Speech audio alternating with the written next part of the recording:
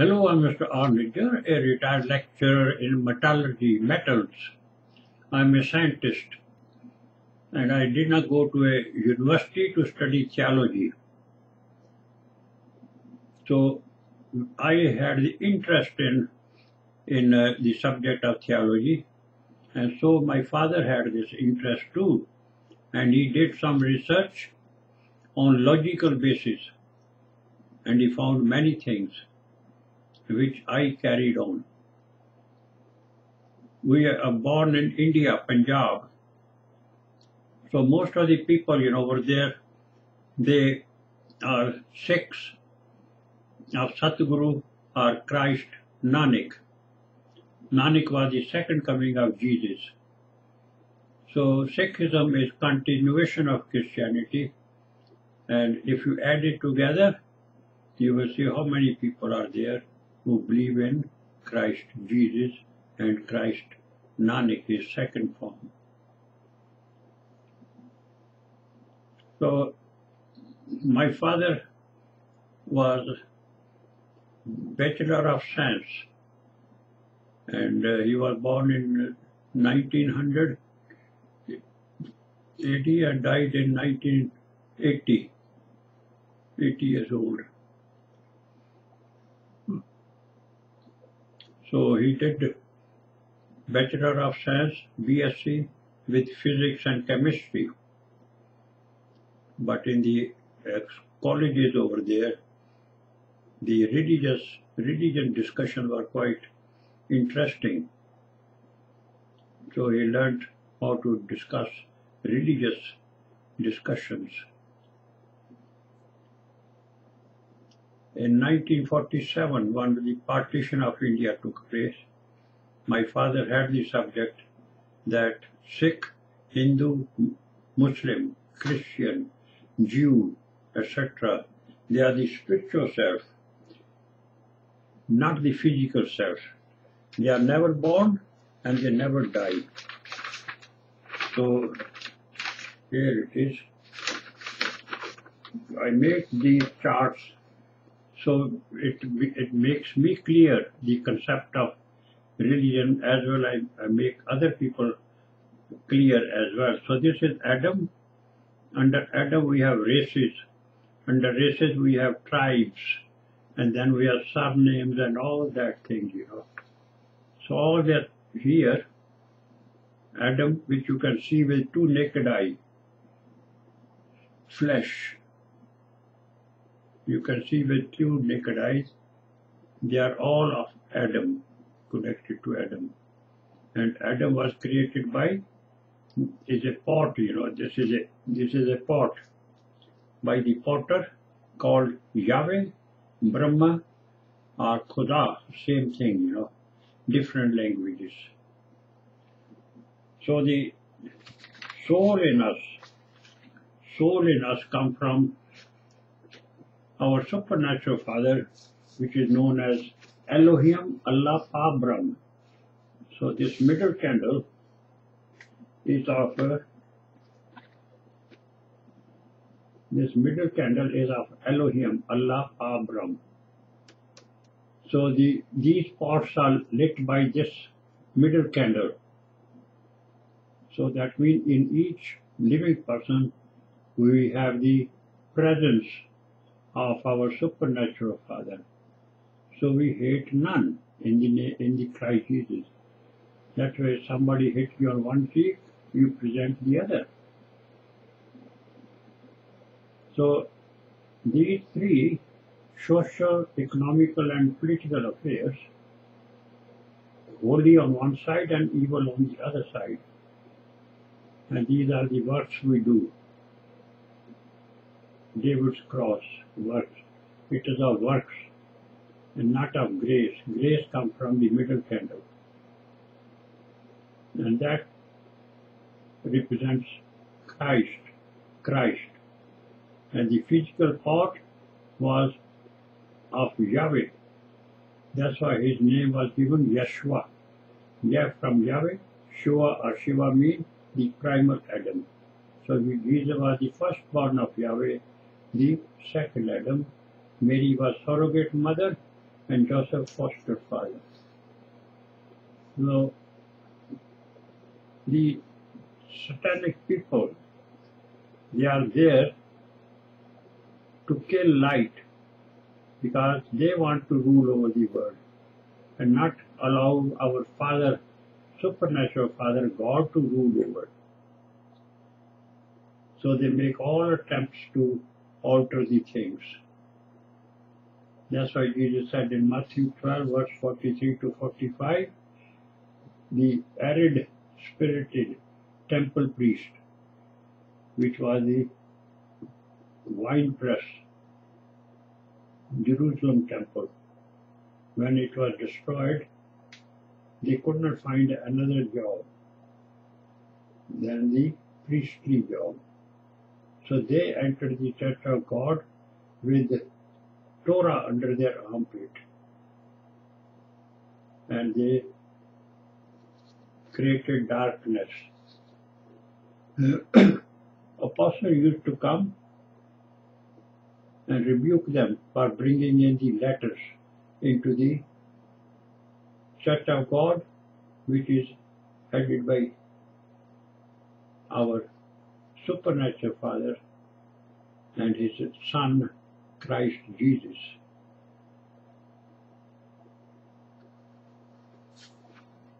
So, people who serve God, God is mammon free. So they don't take bribery or corrupt, corruption or any type of money which is not legal, illegal. They don't accept it. No, nobody can bribe them or anything like that. That's why the people who first formed the Church of God, the twelve which Jesus picked up, they all left their families and also household to join hands with Christ Jesus. They did not follow Jesus, follow our blind people follow. Jesus told them that when he feed the 5,000, and he told them, unless you eat the flesh of Jesus and drink the blood of Christ, you are no part in me. Eating the flesh of Jesus means what came out of the mouth of Jesus. And this is the mouth, spiritual mouth that eats the flesh. What came out of the mouth of Jesus. Take it to your heart, which is the stomach, spiritual stomach. Digest it with the teeth of logical reasoning. And then you brew nectar, which is logo. And that is his word. So then you can preach gospel with authority because you are you know the Christ and his powers.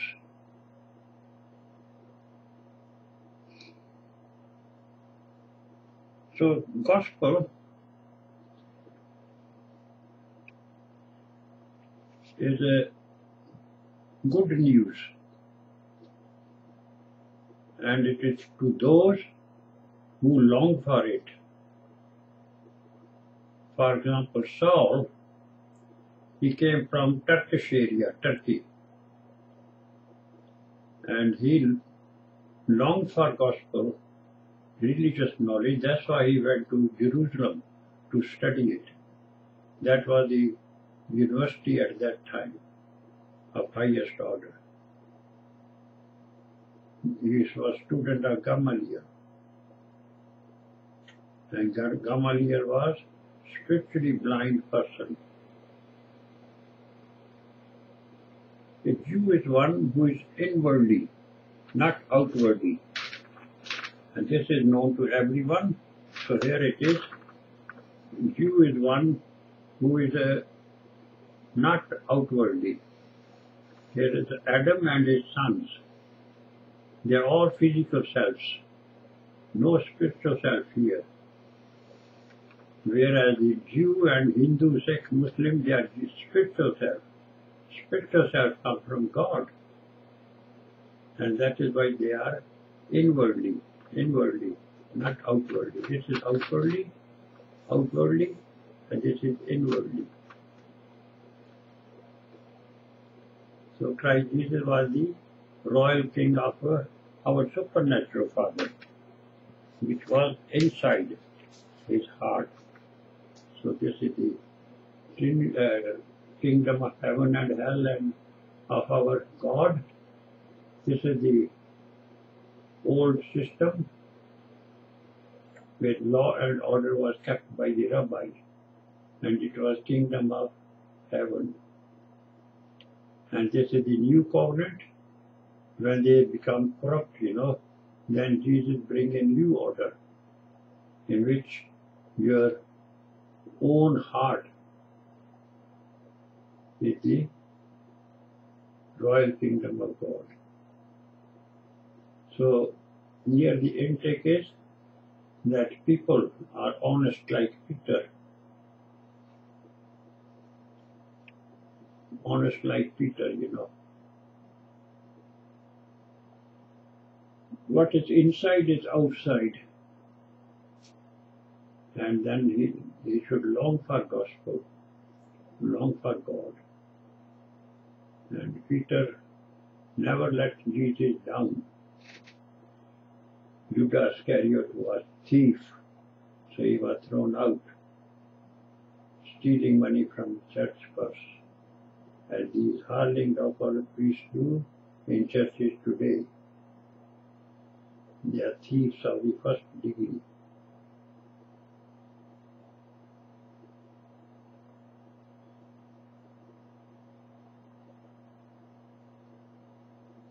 So this is a people go to universities. Over there, they teach them the dead letters. And they have no Holy Spirit to interpret the New Testament. Because when you are drunk with the old wine of the dead letters, you desire it not the new. So you don't want any new wine.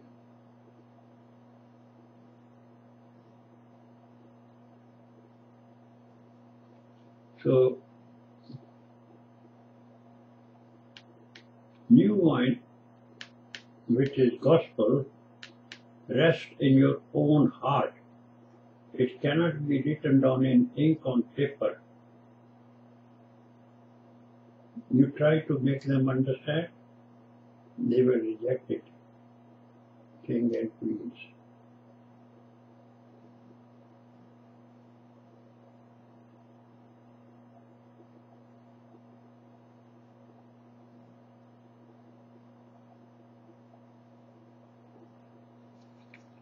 So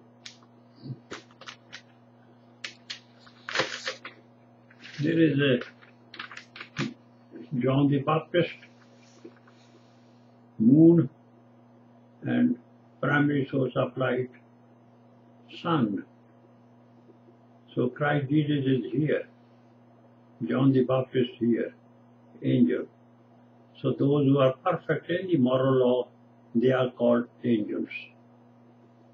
And here, perfect or uh, that is picked up by our supernatural Father, they are saint. So just the opposite to each other they apply. So when uh, Jesus was born, because he, his father was Elohim. And Elohim sent also John the Baptist. So when Jesus went to see Elizabeth, and they were in the womb of the woman yet, then they both jumped, you know, with joy.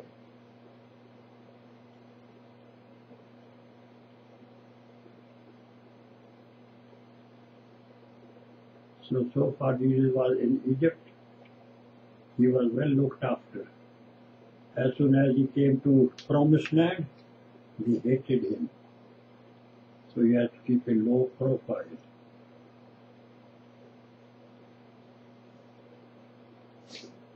So gospel is good news.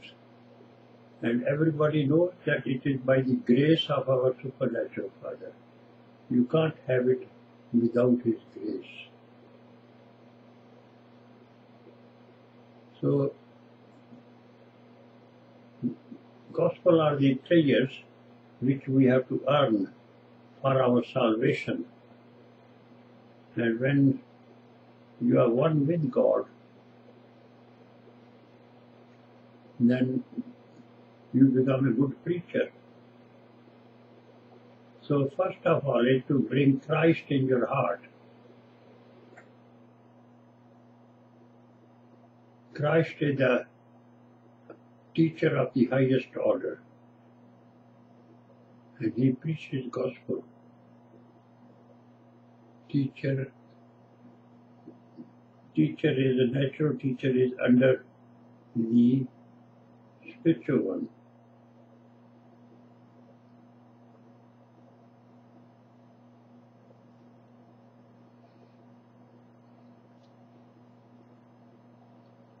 So you can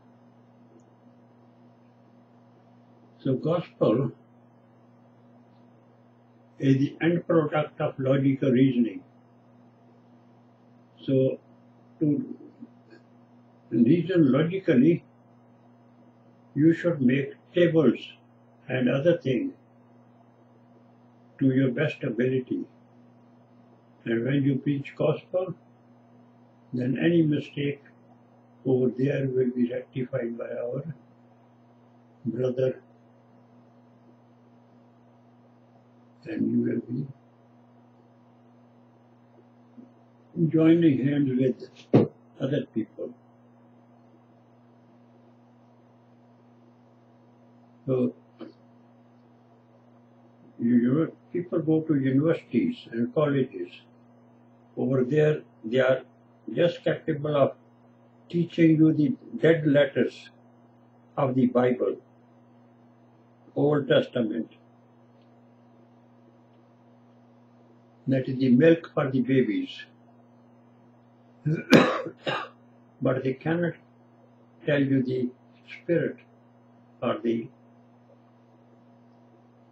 meaning of the parables of the New Testament that conveys the meaning.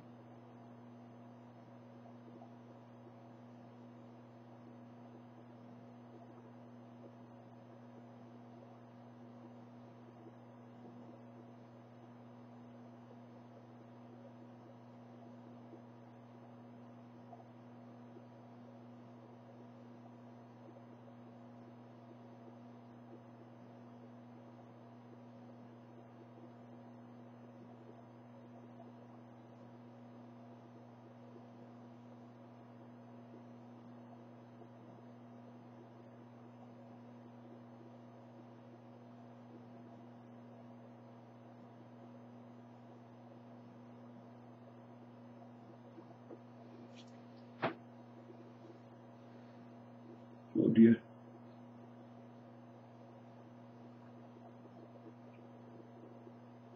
So I leave it here. I'm feeling sleepy.